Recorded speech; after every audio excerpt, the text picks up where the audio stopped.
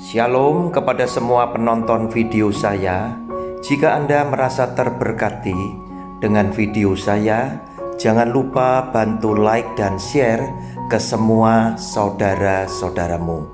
Saya sedang berjuang bersama Anda menegakkan kebenaran firman Tuhan di zaman yang semakin jahat ini. Terima kasih banyak atas dukungan dan empatinya kepada saya.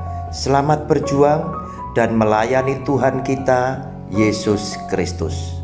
Salam damai buat semua keluarga dari saya, Evangelis Roni Suwono.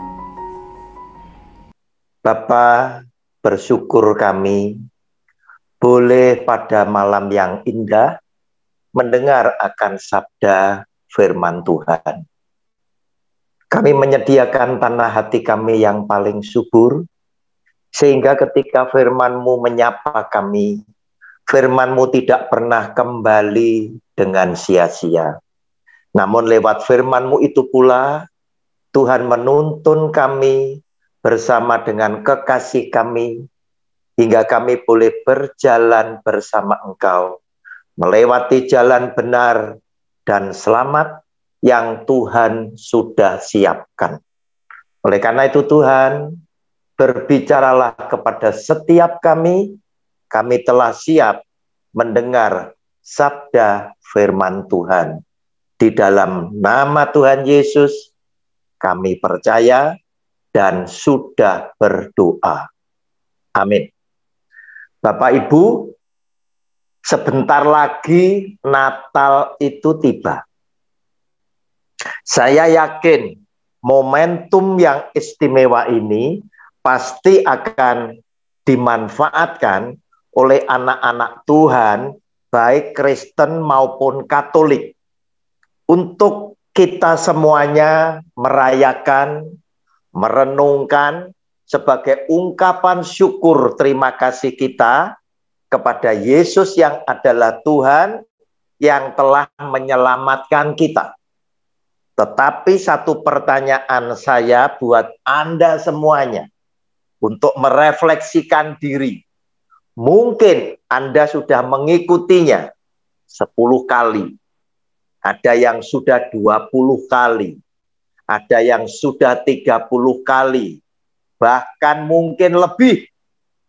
Pertanyaan saya, sudahkah engkau benar-benar mengenal Yesus yang adalah Tuhan dengan begitu dalam? Siapakah dia yang sesungguhnya. Malam yang indah, saya memberikan judul renungan ini dengan judul Allah peduli kepadaku. Bapak Ibu, kita baca ayat firman Tuhan yang mendasari renungan kita malam ini dari Lukas pasal yang kedua saya mau bacakan mulai ayat 8 sampai dengan ayat yang ke-12. Di daerah itu ada gembala-gembala yang tinggal di padang menjaga kawanan ternak mereka pada waktu malam. Tiba-tiba berdirilah seorang malaikat Tuhan di dekat mereka, dan kemuliaan Tuhan bersinar meliputi mereka, dan mereka sangat ketakutan. Lalu kata malaikat itu kepada mereka, "Jangan takut, sebab sesungguhnya aku memberitakan kepadamu kesukaan besar untuk seluruh bangsa. Hari ini telah lahir bagimu juru selamat yaitu Kristus, Tuhan di kota Daud. Dan inilah tandanya bagimu, kamu akan menjumpai seorang bayi dibungkus dengan lampin dan terbaring di dalam palungan. Bapak Ibu yang dikasih oleh Tuhan,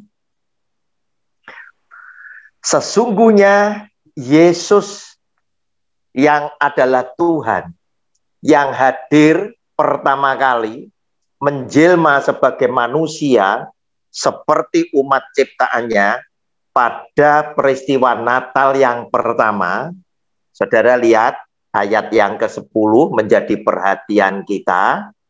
Lihat di dalam Alkitab saudara, ada kata-kata yang saudara perlu garis bawahi.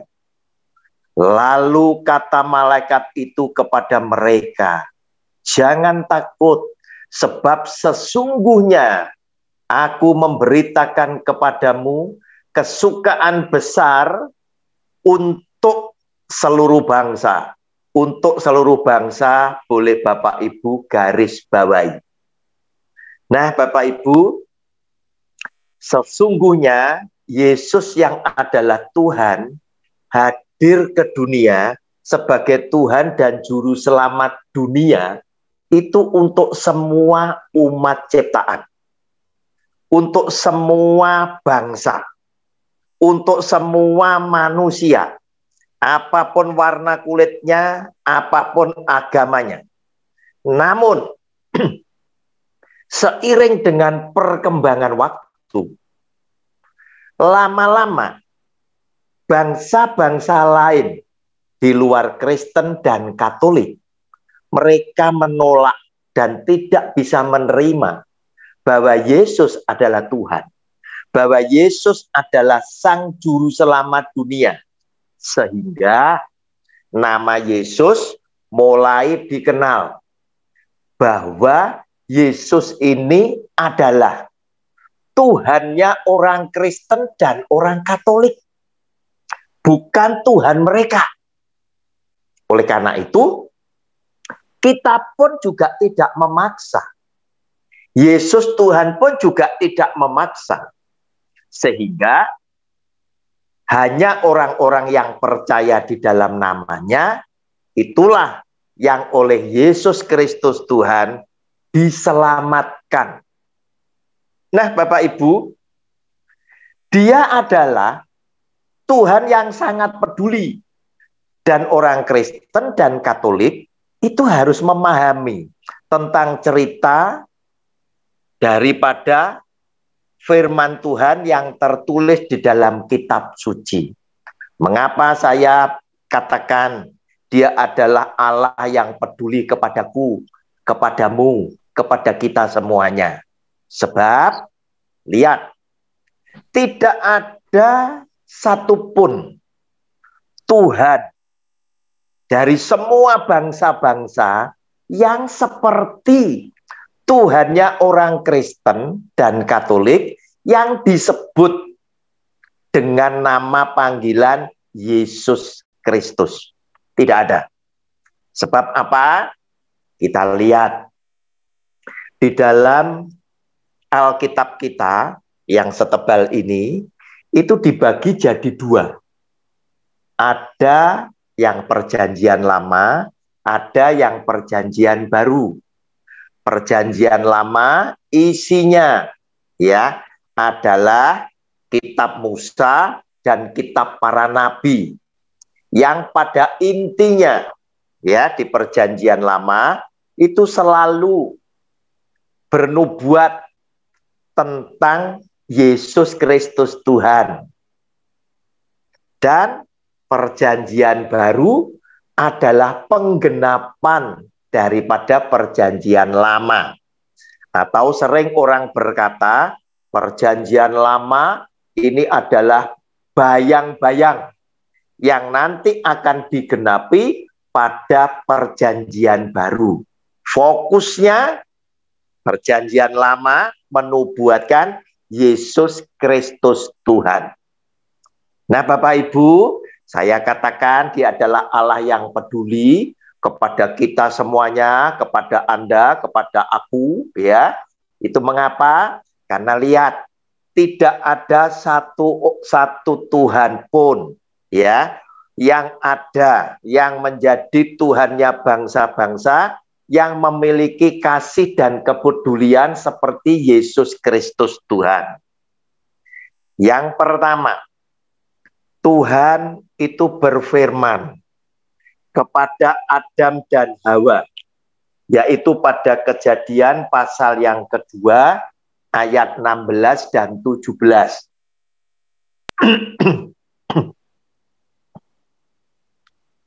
Lalu Tuhan Allah memberi perintah ini kepada manusia. Semua pohon dalam taman ini boleh kau makan buahnya dengan bebas.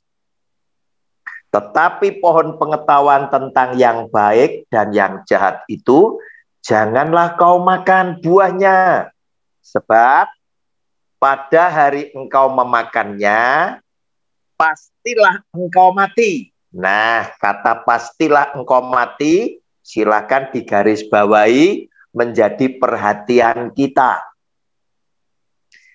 Manusia Adam dan Hawa telah melanggar perintah Tuhan. Sehingga Tuhan bilang, kalau kamu makan, pastilah engkau mati.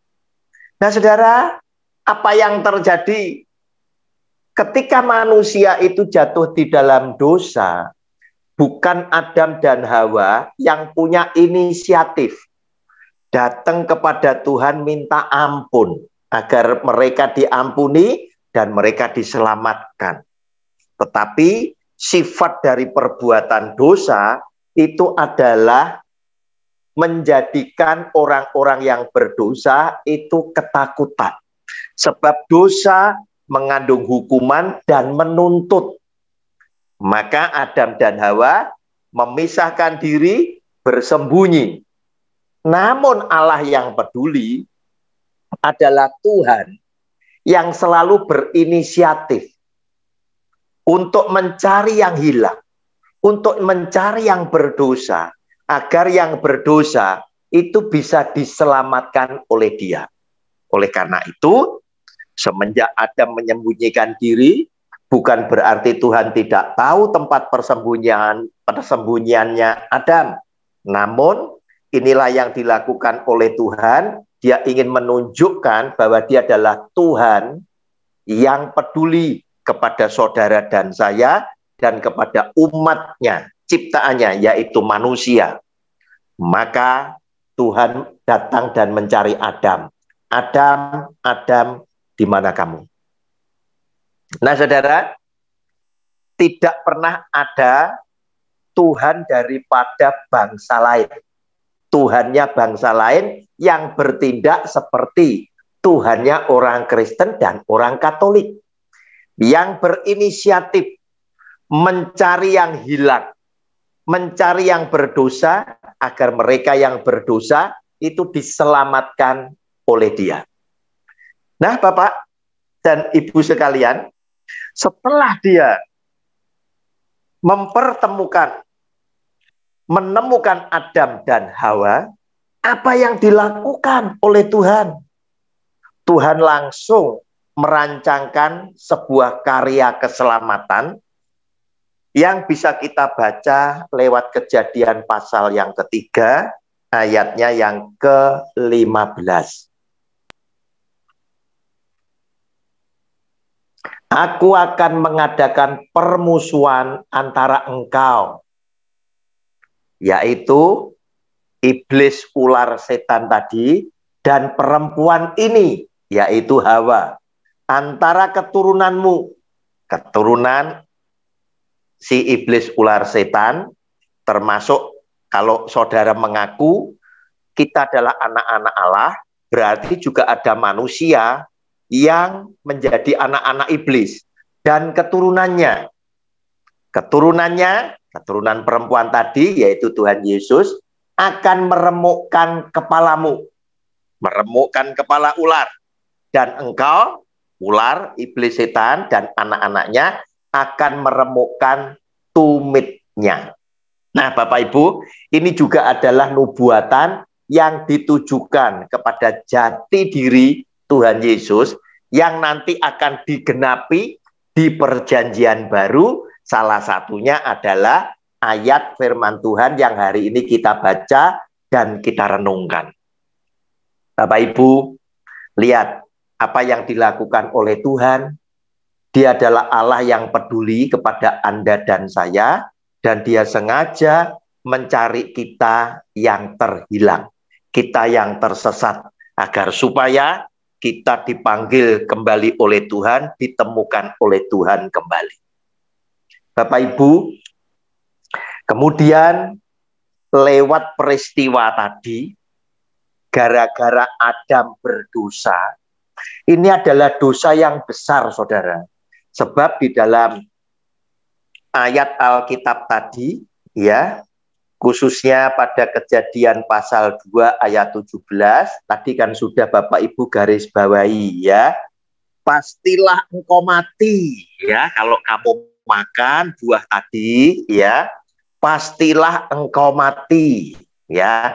Sebab pada hari engkau memakannya, pastilah engkau mati. Nah, inilah saudara, sehingga lewat satu ayat firman Tuhan tadi, maka kita mengenal sesungguhnya manusia, orang-orang berdosa, sejak peristiwa ada melakukan perbuatan dosa, maka Anda dan saya menjadi orang yang berdosa karena kita ikut menanggung dosa yang dilakukan oleh Adam, yaitu dosa keturunan, ya, dosa asal yang ada ditulis di dalam Roma pasalnya yang kelima, ayatnya yang ke-19. Saudara, jadi sama seperti oleh ketidaktaatan satu orang, semua orang telah menjadi orang berdosa. Nah, siapa yang tidak taat adalah Adam. Gara-gara Adam berbuat dosa, tidak taat kepada Allah, maka semua orang, termasuk kita, adalah orang yang berdosa. Demikian pula oleh ketaatan satu orang, semua orang menjadi benar. Siapa orang yang taat tadi? Ya, adalah Yesus Kristus Tuhan. Oleh karena ketaatannya, oleh karena kebenarannya, maka saudara dan saya menjadi orang yang dibenarkan. Bapak Ibu, sungguh luar biasa apa yang dilakukan oleh Tuhan Yesus dia adalah Tuhan yang sangat peduli kepada Anda dan saya, kepada seluruh umat ciptaannya. Lihat, ketika dia datang, ya, ketika dia datang di muka bumi, tadi apa yang dikatakan di dalam Lukas pasal 2 tadi, ayatnya yang ke 12, di situ dikatakan, dan inilah tandanya bagimu kamu akan menjumpai seorang bayi dibungkus dengan lampin dan terbaring di dalam palungan. Saudara, dia adalah Allah yang ingin menyapa dunia secara keseluruhan. Oleh karena itu, dia datang di tempat yang paling hina, tempat yang paling kotor, dan malaikat itu memberitahukan bukan kepada orang kaya, tetapi justru malaikat ini memberitahukan kepada gembala-gembala yang lagi tidur di padang rumput gembalaan bersama domba-dombanya. Dan kita tahu, gembala-gembala itu adalah bagian daripada masyarakat dengan kasta, dengan tingkat sosial yang paling rendah. Dan gembala-gembala ini adalah orang yang paling akrab dengan kandang hewan yang kotor itu tadi. Berarti yang disapa adalah orang miskin, orang yang paling bawah, dan dia lahir di tempat yang paling kotor, yang orang paling bawah, orang miskin itu akrab dengan kandang hewan tersebut. Saudara, inilah bentuk kepedulian Yesus Kristus Tuhan. Sebab ketika dia hadir di tempat yang paling bawah, berarti dia bisa menyapa seluruh lapisan masyarakat sampai dengan yang paling kaya. Sebab yang paling kaya tergantung apakah engkau punya kecintaan di dalam hatimu kepada Kristus yang hadir di tempat paling hina itu untuk engkau datang ke tempat tersebut. Dibandingkan jika dibalik Yesus Tuhan lahir di hotel bintang 5 yang akrab dengan orang kaya. Pertanyaannya, bisakah gembala orang miskin, kasta yang paling rendah di masyarakat, datang ke tempat mewah tersebut. Dibandingkan jika dia hadir di tempat yang hina, pastilah yang kaya jika punya kecintaan akan dengan mudah dia datang ke tempat yang hina tersebut. Oleh karena itu, firman Tuhan berkata, jika engkau ingin menjadi yang paling besar, kamu harus menjadi yang paling kecil. Jika engkau ingin menjadi yang terkemuka, kamu harus menjadi pelayan. Nah, ini dilakukan oleh Tuhan Yesus. Dia menjadi yang terkecil di dalam kerajaan surga. Nah, saudara, inilah yang dilakukan oleh Tuhan Yesus ketika Dia hadir di dalam peristiwa Natal yang pertama untuk supaya memanggil setiap orang yang berdosa sehingga yang berdosa itu diselamatkan oleh Dia. Nah, Bapak Ibu, dia datang bukan dengan semangat untuk mengadili orang yang berdosa. Tidak. Tetapi dia punya satu semangat. Aku datang untuk memanggil orang yang berdosa. Matius 9 ayat 13 berkata demikian. Matius 9 ayat yang ke-13 Jadi pergilah dan pelajarilah arti firman ini. Yang ku kehendaki ialah belas kasihan dan bukan persembahan. Mengapa saudara? Tuhan ingat apa yang bisa Anda persembahkan harta benda tidaklah banyak bagi Tuhan. Karena Tuhan adalah pencipta dan pemilik alam semesta. Tetapi yang ditekankan oleh Tuhan Yesus adalah jika kamu memiliki belas kasihan di dalam hidupmu terhadap orang-orang yang tersesat ini tadi, agar mereka boleh juga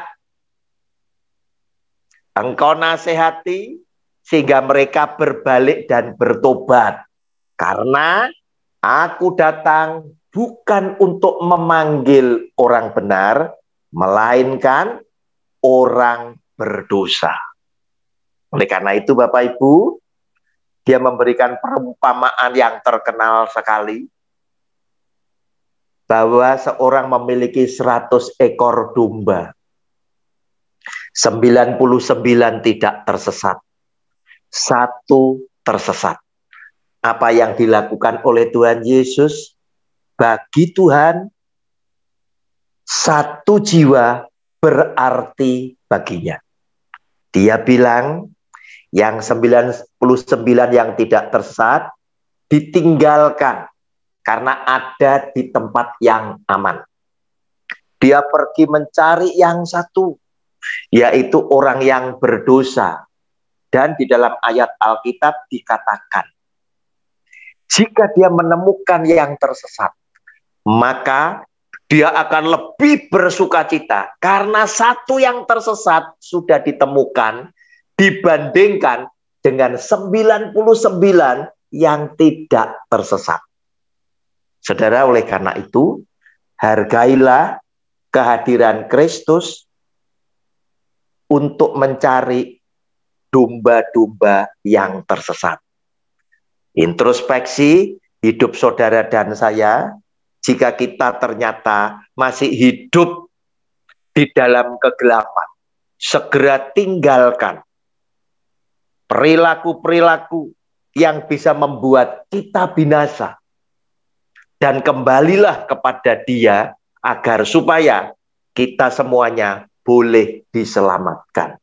Sebab Yesus yang adalah Tuhan juga mengandaikan di dalam Yohanes pasal 8 ayat ke-12. Dia mengandaikan dirinya sebagai terang. 12. Maka Yesus berkata pula kepada orang banyak, katanya, Akulah terang dunia. Barang siapa mengikut aku, ia tidak akan berjalan dalam kegelapan. Melainkan ia akan mempunyai terang hidup. Orang yang masih hidup di dalam dosa diandaikan oleh dia bahwa orang-orang itu hidup dalam kegelapan. Nah, orang yang tinggal dalam kegelapan dia akan berjalan menuju kepada kebinasaan. Sedangkan Yesus Tuhan adalah terang dunia. Oleh karena itu, dia meminta kepada saudara dan saya, ayo ikutlah kepadaku supaya kamu tidak hidup di dalam kegelapan, melainkan engkau memiliki terang hidup sebab kamu sudah ngikut aku. Caranya bagaimana? Caranya adalah sederhana sekali.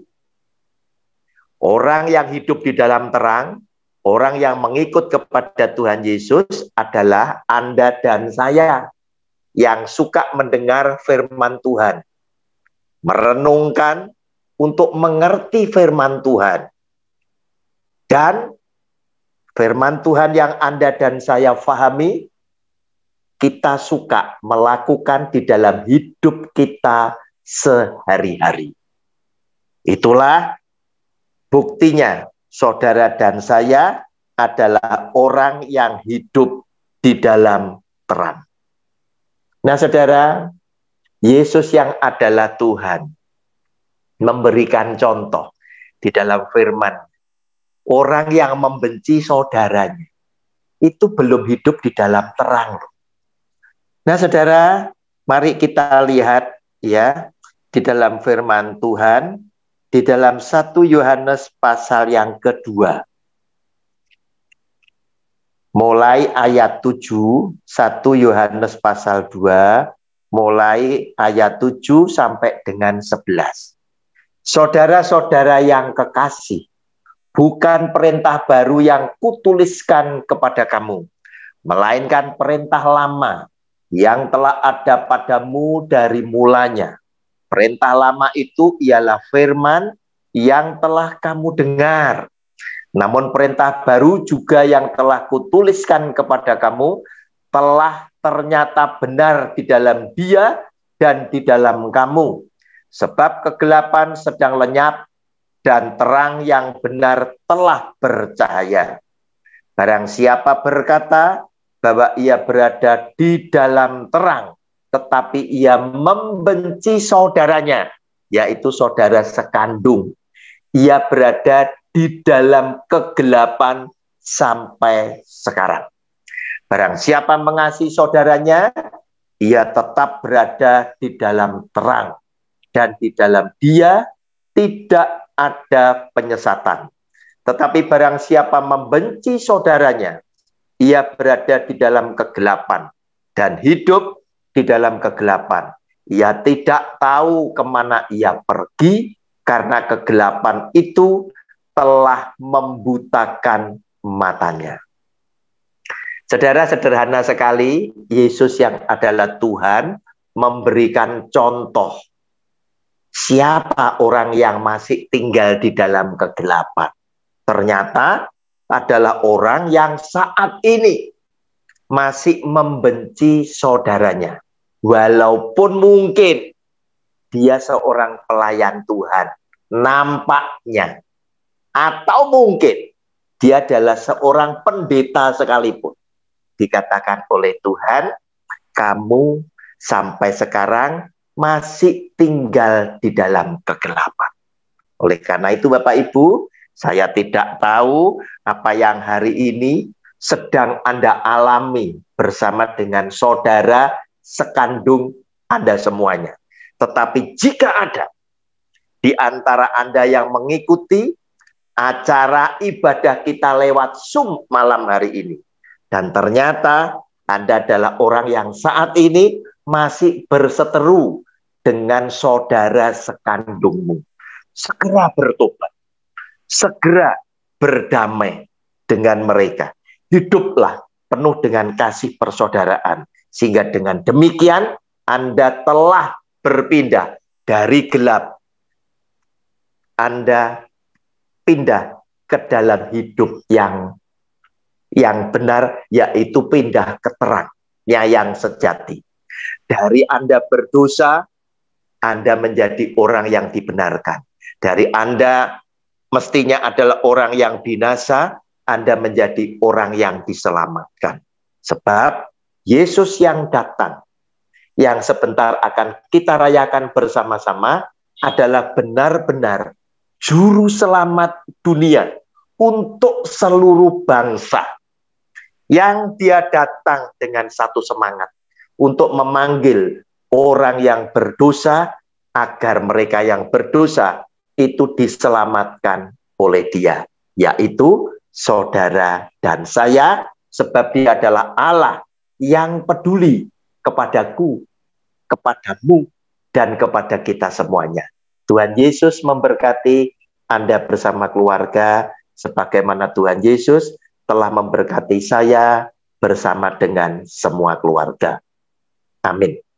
Ya, inilah kesempatan yang indah ya. Kesempatan kita mau bertanya kepada hambanya uh, dalam kebenaran. Ayo, siapa yang bingung mengenai Alkitab, ayat di mana pun boleh. Yang mengenai tadi, mengenai saudara juga boleh. mengenai apa saja boleh ya. Itu ada Pastor Christine. Iya. Yang sudah angkat tangan. Silakan. Pertama, oke. Silakan. Shalom, luar biasa. Akhirnya saya sampai di rumah, tapi sepanjang jalan saya dengar. Oh, Oke, okay. silakan. Jangan lewatkan kalau Pak Pendeta Roni ya. Terima kasih. uh, Pak Pendeta tadi Bapak mengambil judul yang eh, sangat-sangat uh, saya suka dan uh, saya menjawantahkan atau merealisasikan itu dengan saya peduli kepada orang lain ya uh, karena Allah sudah peduli kepada saya.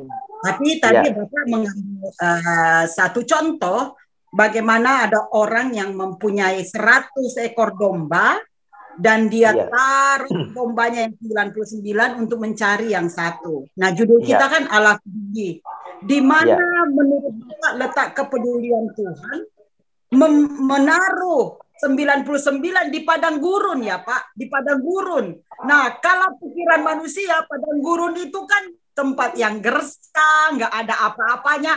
Kok tego? Kenapa tega ya Tuhan naruh yang 99 di padang gurun Uh, dan pergi mencari yang satu aja. Nah, ini yang banyak disalahartikan oleh banyak uh, hamba Tuhan yang mengatakan di mana pedulinya Tuhan kok membiarkan kita yang 99 uh, dan hanya mencari yang satu ya uh, padahal kita ini di padang gurun. Nah, untuk itu mohon pencerahannya Pak. Apakah yang uh, 99 ini dalam kurung tidak dipeduli oleh Allah Terima kasih.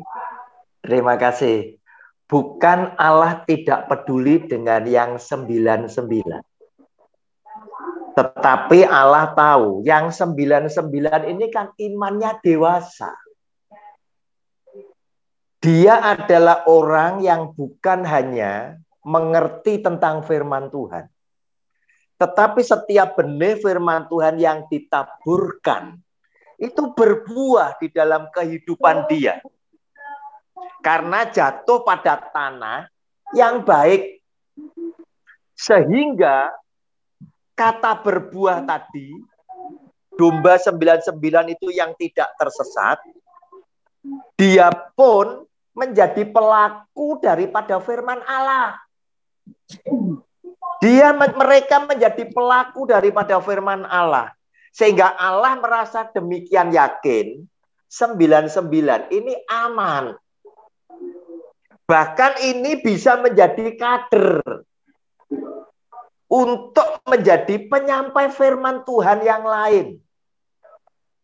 Sebab bukankah setiap orang itu mulai bertanya kepada pembicara tertentu, para pendengarnya ini ingin juga menguji.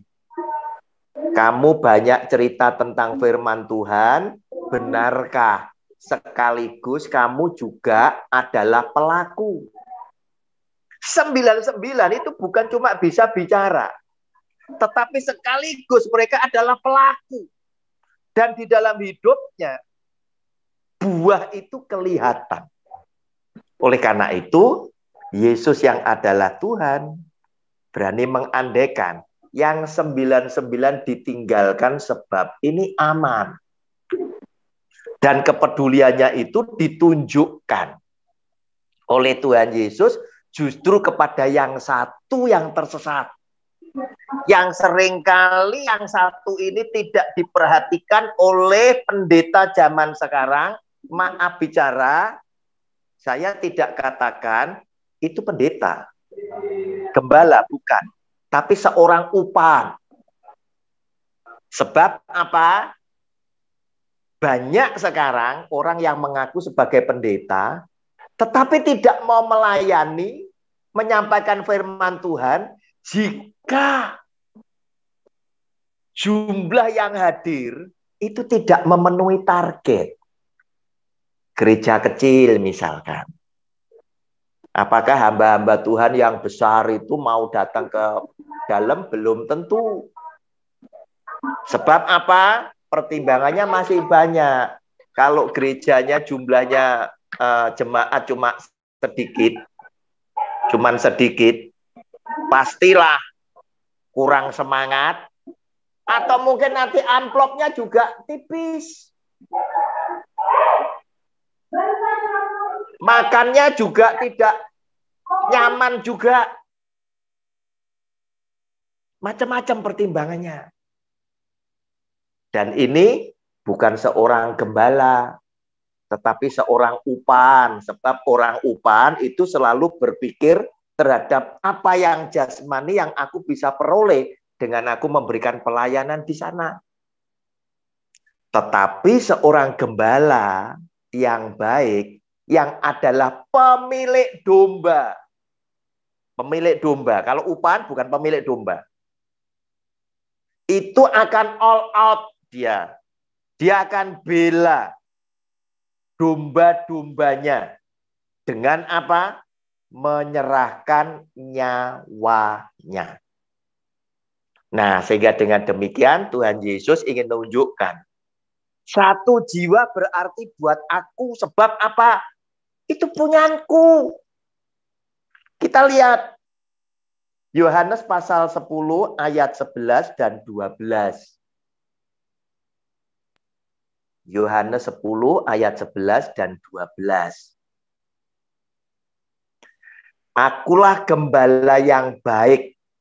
Gembala yang baik memberikan nyawanya bagi domba-dombanya. Sedangkan seorang upan yang bukan gembala dan yang bukan pemilik domba-domba itu sendiri. Ketika melihat serigala datang, meninggalkan domba-domba itu lalu lari sehingga serigala itu menerkam dan mencerai-beraikan domba-domba itu. Oleh karena itu, kita mesti bedakan walaupun mereka bilang, saya ini gembala sidang. Belum tentu kalau dia itu gembala yang dimaksud di Alkitab yang berani menyerahkan nyawanya untuk domba-dombanya. Kalau dia menyerahkan nyawa untuk domba-dombanya, domba-domba itu miliknya dia. Pastilah dia tidak ingin mendapatkan yang jasmani dari domba-dombanya. Contoh, ya, contoh. Kita semuanya punya anak Ibu Kristin punya anak, Oma Sinta punya anak, saya punya anak. Yang lainnya punya anak. Jika kita ditanya, Pak, Bu, apakah Anda mengasihi anak-anakmu? Kita pasti jawab, sangat mengasihi mereka. Apa buktinya? Saya siap menyerahkan nyawa saya untuk anak-anak saya. Untuk selamatkan anak-anak saya, saya siap. Nah orang tua yang demikian pasti kalau nyawa aja berani diberikan, dipertaruhkan untuk anaknya, pasti orang tua yang demikian tidak pernah menginginkan yang jasmani dari anaknya untuk kita miliki. Tetapi seorang upahan, cara berpikirnya beda. Karena aku tidak ikut memiliki domba itu. Aku seorang upahan, sekarang aku bekerja di dalam pelayanan ini. Apa yang aku bisa dapatkan dari kalian? Urusan kalian mati, tidak penting buat saya. Yang penting seberapa banyak aku bisa dapat yang jasmani dari domba-domba tersebut. Demikian Bu Christine, ada yang masih tersisa silakan. Iya. Uh, Kenapa saya bertanya Pak? Karena itu menimpa saya. Jadi ya. saya dulu punya banyak sekali uh, anggota, tetapi ada satu anggota di antara kami yang menurut mereka orang yang paling berdosa, sangat berdosa. Jadi saya intens untuk uh, mengunjungi dan uh, memberikan pencerahan kepada yang satu ini. Nah, yang lainnya Pak, yang kebanyakan itu mereka lalu meninggalkan uh, yayasan ya tempat uh, mereka selama ini bernaung dengan mengatakan bahwa uh, madam hanya peduli dengan uh, satu orang dan tidak peduli dengan kami. Nah, pertanyaan inilah yang sampai kepada saya. Uh, di mana kepedulian madam terhadap kami? Kami uh, istilahnya juga domba-domba yang uh, sama lah istilahnya sama dipelihara. Kok yang satu itu dikunjungin terus? Uh, mereka lalu kasih ini. Ya kami kan di Padang di Padang yang bukan ini Padang gurun gitu kan. Kenapa madam membiarkan? Kami belum belum belum mantap tapi peduli saja dengan yang satu ini. Padahal saya lagi mencoba menerapkan firman Tuhan. Nah di dalam saya berdoa waktu itu Pak ini kejadiannya sudah empat tahun yang lalu ketika saya berdoa Tuhan mengingatkan saya uh, untuk googling di uh, apa yang terjadi di Israel dan uh, ketika saya juga pergi ke sana saya lalu mengingat bahwa Mazmur 23 juga Tuhan berkata uh, engkau membaringkan aku di padang ya. Nah, ternyata padang gurun yang di sana itu Pak dari batu-batunya itu ada muncul uh, apa ya rumput yang iya. hijau. Yeah. Jadi dari celah-celahnya meskipun itu padang gurun tetapi dari batu-batunya dari apa itu ada muncul eh, apa namanya rumput yang hijau. Di sana Tuhan kasih saya pengertian bahwa I really care about you. Saya tetap peduli loh sama kalian yang 99 ini karena saya tidak meninggalkan begitu saja. Jangan kita berpikir kalau itu padang gurun itu gersang dan tidak ada apa-apanya pasti Tuhan kita tidak sebegitu. Dia Allah yang peduli, dia Allah yang sangat baik. Dan jawaban itulah yang saya berikan kepada mereka. Uh, saya cuma mencoba jujur dan akhirnya satu hal yang saya dapat kejujuran kadang pahit ya. Ketika kita mengungkapkan kejujuran, mungkin saya kehilangan banyak teman. Saya hanya punya sedikit teman, tapi teman-teman yang sedikit itulah teman-teman yang benar bukan yang palsu. Jadi uh, saya tetap akan jalankan firman Tuhan, Pak, mencari domba yang sesat seperti yang Tuhan mau. Terima kasih. Haleluya. Haleluya. Terima kasih. Ah. Saya tanya, Pak. Silakan Oma, silakan. Ah, kalau menurut tadi Bu Christine itu memang sering terjadi ya di dalam satu gereja atau dalam satu perkumpulan, dalam satu uh, komunitas. Nah, tetapi kalau di dalam ayat dikatakan daripada satu matamu yang membuat semua nanti cemar lebih baik dibuang. Itu artinya gimana, Pak? Iya. Satu lebih jadi, baik dibuang. Iya. Jadi Tuhan Yesus itu memberikan satu perumpamaan, ya, tapi bukan harus diterapkan yang seperti itu. Oh. Ya, maksudnya besok. Nah, ternyata di dalam tubuh ini kan banyak anggota-anggota tubuh. Nah, Yesus Tuhan memberikan perumpamaan. Seandainya mata kita yang satunya ini suka uh, apa itu menyesatkan. Nah, sehingga agar supaya yang lainnya, tubuh yang lainnya ini tadi tidak ikut binasa, lebih baik mata yang satu yang menyesatkan ini yang dibuang, yang dipotong itu tadi. Ini hmm. hanya sebuah pengandaian saja, perumpamaan saja. Oh iya. Misal, oh kita kita sering kali berpikiran uh, atau atau katakanlah seorang suami suka KDRT daripada seluruh tubuh ini menanggung dosa yang sama. Itu tadi yang mengakibatkan semuanya itu bisa tidak selamat. Hmm. Nah, itu hanya contoh Om Oma. Iya. Ya. Berarti itu arti kiasan ya, kiasan arti aja. kiasan, iya. Oleh okay. karena itu kalau kita bertobat ya total bertobat kan begitu. Ya. Tapi banyak kan orang gitu eh. Ceritanya itu diambil uh, enaknya aja, katanya daripada satu nanti pecah semua lebih baik satu. ya itu Ma, memang kadang itu orang ini ya ini tadi uh, suka menafsirkan menurut kehendaknya sendiri. Ah, betul, contoh, betul. contoh ya, contoh ya. Ah. Persekutuan doa bisa pecah, gereja kemudian pecah, ya toh. Hmm. Terus kemudian pendetanya ngomong, hmm. ya ini memang Tuhan pakai perpecahan ini untuk membuat ya kerajaan. Tuhan di dunia ini menjadi semakin luas Nah, kadang mereka ngomong gitu. Iya. Nah, kalau saya jadi muridnya pendeta itu, saya uh pasti akan usul, kan begitu, hmm. Mas. Yeah. Pendeta, kalau uh. gitu masukkan dalam daftar doa syafaat. Hmm. Tuhan, semoga gereja sa Indonesia pecah semua, kan begitu. aduh, aduh, aduh. Ya, ya. membela diri, Pak. Membela Makanya, diri. lah itu tadi lah ini hamba Tuhan itu kalau ngomong hati-hati, tidak boleh salah. Ya. Terlebih tidak boleh buat kebohongan.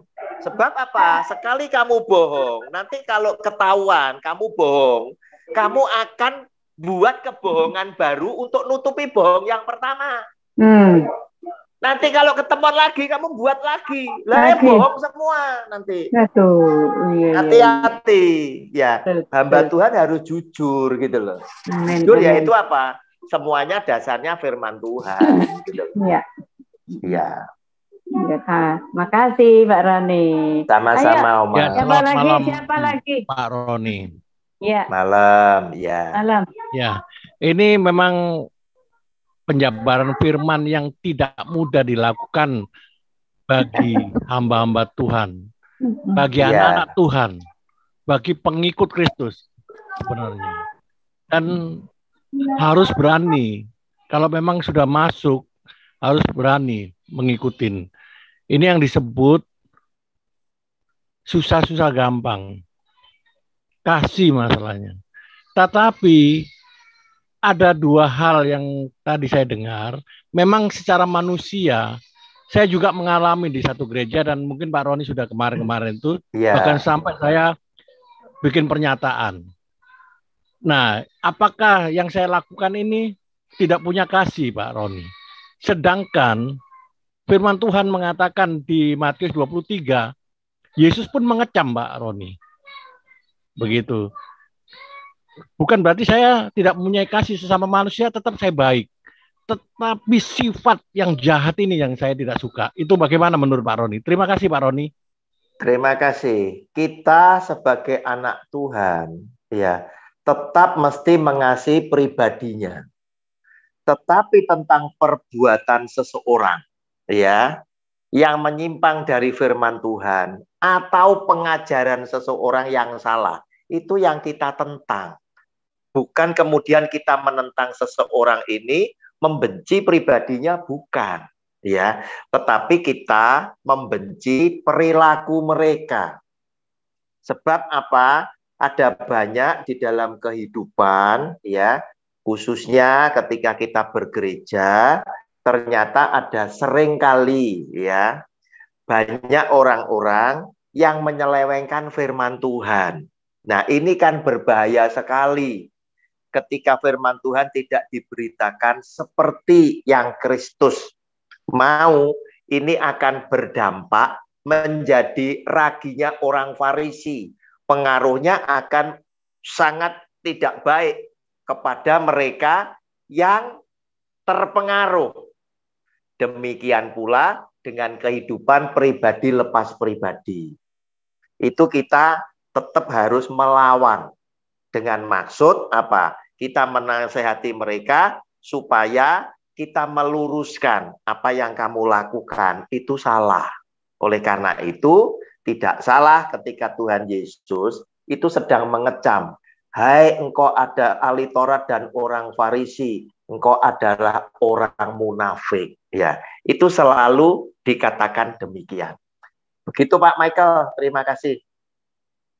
Iya betul Pak Roni, saya sangat setuju itu. Tetapi banyak hal setelah kita mendengar atau membaca firman, hamba-hamba Tuhan itu menjadi dilema. Karena apa? Susah untuk menghukum. Kata menghukum ini bisa diplesetkan menjadi penghakiman. Nah ini kalau menurut Alkitab penghakiman. Padahal ini hukuman tentang ketidakbenaran orang tersebut, tindakannya, bukan orangnya. Sedangkan saya kalau mau membenci seseorang atau bahkan pengerja saya sendiri, saya berdoa apa yang harus saya lakukan Tuhan. Sempat saya buka Matius 23 itu uh, seluruhnya. Oh, saya berarti sangat jelas bahwa tindakan orang ini yang Tuhan tidak suka.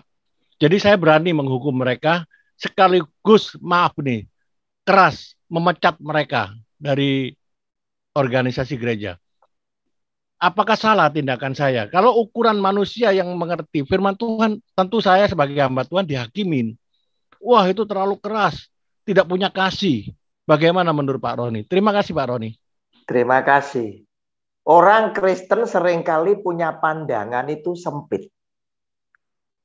Sesungguhnya ketika Anda dan saya hidup di dunia, kita ini butuh ada hakim yang bisa menghakimi setiap orang yang sedang berselisih. Contoh, di kota-kota Anda semuanya, coba keliling. Ada enggak kantor pengadilan? Nah, kalau ada kantor pengadilan, mesti ada hakimnya. Nah, Bapak Ibu, saya tidak akan ngomong tanpa dasar ayat.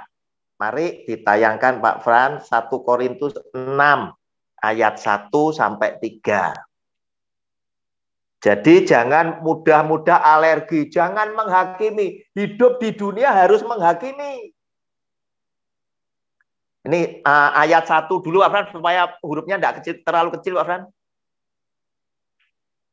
Habis satu, dua, jadi hurufnya biar agak gede, bacanya enak.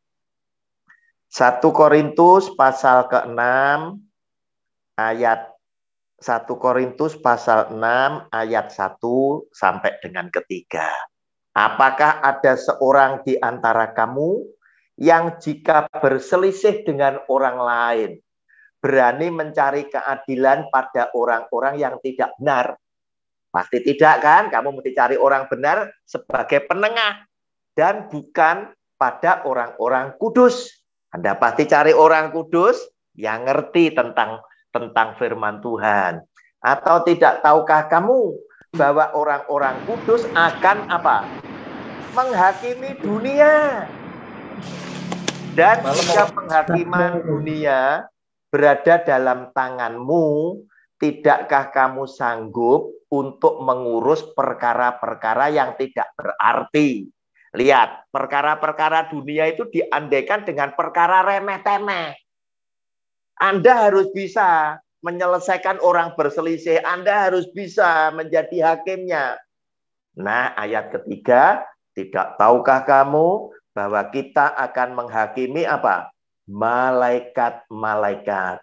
Jadi apabila perkara-perkara biasa, jadi apalagi perkara-perkara biasa dalam hidup kita sehari-hari.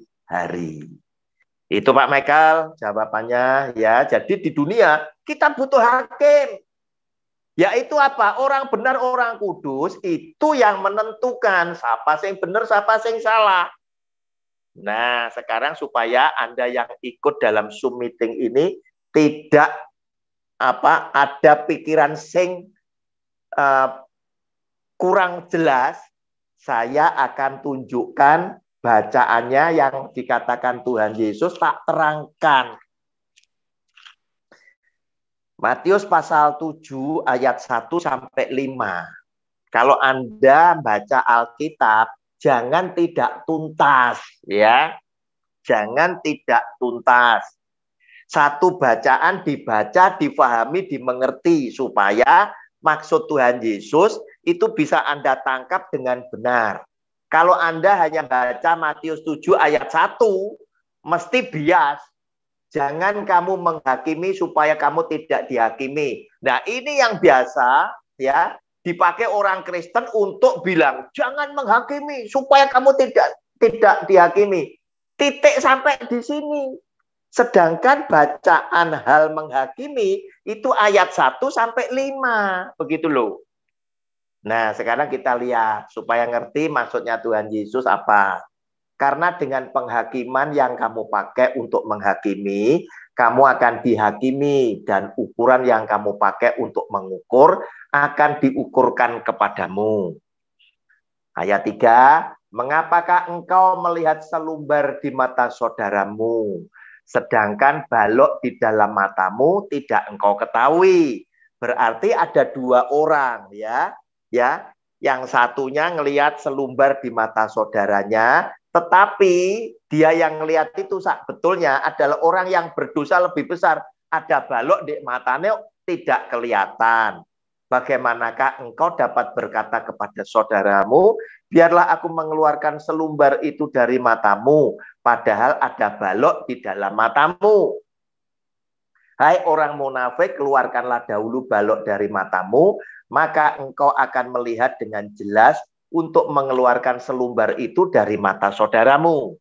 Nah, Bapak Ibu, di sini berarti Tuhan Yesus ketika bilang jangan menghakimi itu ada dua orang gitu loh, ya.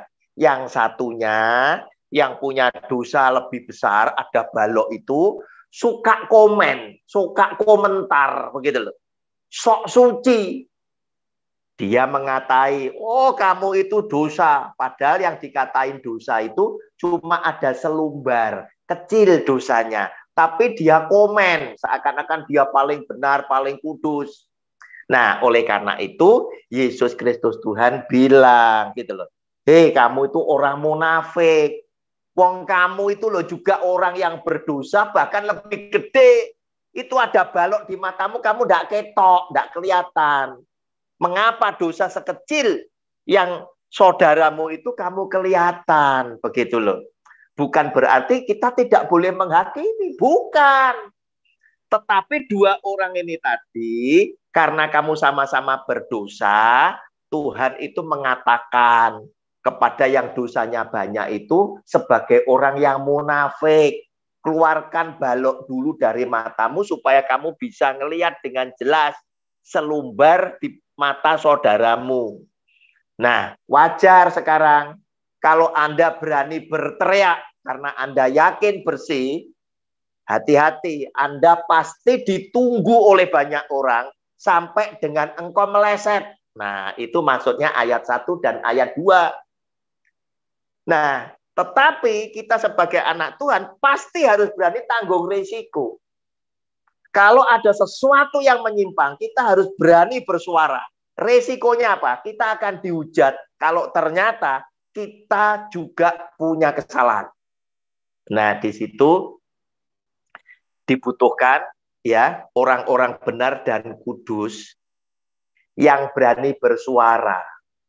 Nah, akibat kata jangan menghakimi, banyak orang Kristen tidak bisa jadi saksi Tuhan Sebab apa? Mereka biasanya tidak berani menyampaikan pendapat karena takut kalau nanti ada orang yang menghujat dia kembali. Nah, demikian Oma, Pak Michael sudah itu ada bulan. Hmm. Ya. Sudah, semua saya puas dengan firman malam hari ini, keterangan yang jelas. Itu Jelas, ada Bu jelas Lastiar, sekali. Bu Lastiar. Ya, Ah, mungkin Shalom Oma, Shalom ya, Pak ya, ya, Roni. silakan satu Ya, lagi ya. Oke. Shalom. Iya. Saya sangat ber eh, sangat senang dengan khotbah hari ini. Terlebih jawab Ya. eh, judulnya Allah peduli, Allah masih peduli. Eh, gini Pak, yang saya mau tanyakan, eh, saya setahun ini berdoa eh, agar rumah saya ini laku karena Ya. Bapak juga udah tahu kan suami saya meninggal, punya anak dua kecil, dan saya berencana untuk menjual rumah ini biar ada modal saya untuk buka usaha. Tapi sampai saat ini, sampai hari ini, di rumah belum laku-laku. Kadang saya eh, bertanya, apakah Tuhan peduli kepada aku? Padahal saya eh, ini benar-benar butuh rumah ini laku agar ada modal kami ke depan. Begitu Pak, terima Iya. kasih. Terima kasih Bu. Apa yang Anda pernah rasakan sekarang ini Anda alami, itu pernah saya rasakan juga. Tuhan ngapain ini tidak laku-laku? Padahal pada waktu itu saya bangkrut. Saya ingin jual tanah yang ada di Kediri, ya, yang luasnya 1.500 meter. Tidak laku-laku. Saya juga sama dengan Ibu Lastiar tadi. Tuhan, engkau ini ada enggak? Engkau peduli enggak dengan aku? Ternyata apa? Tuhan tolong dengan saya dengan cara yang berbeda. Dan kemudian tanah yang tidak laku, setelah Tuhan tolong, Tuhan bangunkan yang sekarang ditempati papa saya dengan gedung dua lantai, seribu meter yang akhirnya dipakai oleh anak-anak saya semenjak mereka kanak-kanak untuk mereka bermain-main bersama dengan teman-temannya. Nah, Bu Lastiar jangan salah, kalau hari ini laku, saya jamin rumah Anda pasti dibeli murah karena apa? Properti sedang jelek. Harganya sedang tidak bagus. Nah, mungkin kepedulian Tuhan justru dibuatlah tidak laku supaya nanti lakunya besok itu harganya bisa bagus. Amin. ya. Jadi hati-hati ya ketika kita tertunda bukan berarti Tuhan tidak sayang. Mungkin anak kecil ini minta sama mamanya ma aku minta pesonya mana? Oh enggak jangan jangan jangan. Kenapa? Karena dia tidak pandai menggunakan pisau Nah, Tuhan intinya memberikan kepada Anda dan saya selalu sesuai dengan kehendak Dia karena Dia ingin memberikan yang terbaik untuk kita. Tunggu saja, tetap berdoa, biasakan berdoa, tidak memaksa Tuhan. Tetapi seperti Kristus yang bilang, jika boleh Tuhan, cawan ini berlalu daripadaku. Tetapi jangan kehendakku yang terjadi, melainkan kehendakmu. Ya, jangan biasakan dengan ajaran-ajaran pendeta Amen. yang bilang, aku klaim janjimu. Itu tidak sopan, ya. Ya. Yang paling sopan adalah Yesus Kristus Tuhan yang memberikan teladan untuk kita. Terjadilah karena kehendakmu, bukan kehendakku. Amin. Ya. Ini mungkin yang terakhir ini. Ya, Oma, ada satu lagi. Bu Mila, silakan. Boleh, boleh. Ya, selamat malam. Terima Malam, kasih. Eh, Malam, Bu Mila. Malam. Nanti doa syafaat ya, bentar lagi nih ya. Ya, Oke, Oma. oke. Tutup Bu ini, Madam. Heeh. Ya, Oke. eh, judul kita malam hari ini yaitu eh, Allah peduli. Iya. Tadi eh, sempat eh, kita dengar bahwa memang ada eh, hamba Tuhan yang kadang tidak peduli kalau eh, melayani jemaat kecil, Iya. ya kan? Dan saya juga pernah sendiri ngalamin. Satu ketika kami eh, membuat KKR, uh, acaranya sudah berlangsung kok pendeta yang ditunggu-tunggu tidak datang. Terus oh. waktu itu saya memang sempat uh, jadi singer waktu itu. Nah, ketahuanlah bahwa pendetanya tidak datang. Ini kita dengar sendiri di telinga. Nggak datang karena jemaatnya kurang, tidak nah, memenuhi target. Iya, target yang Bapak iya. katakan. Iya. Nah, pertanyaan saya, saya masih uh, penasaran sampai saat ini kok seperti begitu ya. Allah saja peduli kok pendetanya nggak peduli. Menurut yeah. Bapak itu gimana? Karena saya masih penasaran dengan hamba Tuhan model begini. Terima kasih. Itu pertanyaan saya. Iya. Bu Mila, seperti yang tadi saya sampaikan, saya ulang lagi. Yohanes 10 ayat 11 dan 12. Ya. Boleh jadi dia menyebutkan diri sebagai seorang pendeta atau sebagai gembala sidang gereja ABC, terserah. Tetapi benarkah dia seorang gembala yang berani menyerahkan nyawanya atau dia ini bukan gembala? Ini saya bacakan. Akulah gembala yang baik, yaitu Tuhan Yesus. Dia sudah buktikan mati di atas kayu salib, tebus dosa Anda dan saya, tebus dosa dunia yang percaya kepada namanya dengan nyawanya. Gembala yang baik memberikan nyawanya bagi domba-dombanya. Sedangkan seorang upahan, orang upahan cuma butuh duit, butuh yang jasmani. Semakin banyak dia semakin semangat. Kalau sedikit dia nggak semangat. Rugi dia nggak mau. Yang bukan gembala. Nah, disebutkan sedangkan seorang upahan yang bukan gembala dan yang bukan pemilik domba-domba itu sendiri. Kalau bukan pemilik domba-domba itu sendiri mau korbankan nyawa jelas nggak mungkin. Mengapa? Karena ketika ada bahaya dia kabur. Ketika melihat serigala datang meninggalkan domba-domba itu lalu lari sehingga serigala itu menerkam dan mencerai beraikan domba-domba itu. Lihat seorang gembala yang baik, yaitu Tuhan Yesus, ternyata dia punya seorang yang namanya Daud. Daud bilang sama Saul, Raja, jangan sepelekan aku. Ketika Daud diragukan bisa mengalahkan Goliat, dia bilang, aku ini gembala, dari beberapa ekor domba milik papaku. Apa yang aku lakukan raja ketika domba-domba yang aku gembalakan diancam oleh binatang buas. Mungkin singa, mungkin beruang. Itu aku akan lindungi domba-dombaku. Aku akan kejar, aku akan pukul, aku akan bunuh binatang buas itu demi nyawa domba-dombaku yang aku pertaruhkan adalah nyawaku sendiri. Itu Daud. Nah, sekarang pendeta tadi adalah seorang upan. Sebab yang upan selalu mengukur dengan apa? Yang jasmani. Target kalau jumlah uh, jemaatnya cuma 30 bisa dikira-kira lah. Kira-kira amplopnya mau ngasih aku berapa sih? Kalau itu cuma cuma 30 amplop juga tidak banyak. Kira-kira jenis makanan yang nanti akan dihidangkan kepadaku kualitasnya seperti apa? Atau kalau aku harus bermalam, aku ditaruh di penginapan yang seperti apa? Nah, ini jadi pertimbangan buat seorang upah.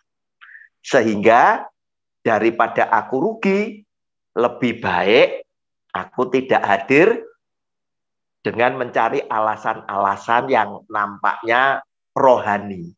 Ibu maaf bu, saya ada pelayanan yang lain lah, misalkan begitu. Dan biasanya mereka bilang apa? Di situ melayani, di sini juga melayani, di sini lebih banyak, ini lebih menjadi berkat. Nah itu tadi. Itu alasan. Sebab apa? Yesus yang adalah Tuhan memberikan teladan kepada Anda dan saya, satu yang tersesat berarti bagiku kata Tuhan Yesus. Dan satu ini yang tersesat, yang bisa aku temukan, menjadikan sukacitaku lebih daripada yang 99 Amin. yang yang Amin. tidak tersesat. Demikian Bu Mila, terima kasih. Hamba Tuhan kok lari dari Tuhan itu. Iya, Nggak makanya. takut ya, enggak takut akan Tuhan. Betul, Oma. Mereka Iya. tidak takut sama Tuhan, takut rugi. Nah, kan begitu. Yang jelas itu bukan Pak Pendeta Roni dan bukan saya. Dan nanti kita semua yang terpilih nomor satu, mereka Iya, semuanya lari, iya. lari, lari, lari. Ya, Pak. Roni, malam ini Ya. sungguh sangat memberkati. Amin. Jadi Amin. inti dari Allah peduli itu ada ketegasan, bukan peduli membiarkan ya Pak Roni. Terima Iya, kasih Pak betul. Roni. Terima, Terima kasih Oma. Cinta. Ya, makasih Terima kasih. semuanya. Makasih Pak Roni. Terima kasih.